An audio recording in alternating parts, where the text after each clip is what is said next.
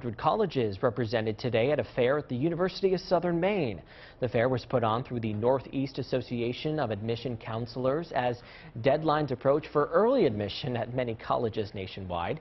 USM's Vice President for Enrollment Management says though it may seem overwhelming now, the search will eventually pay off.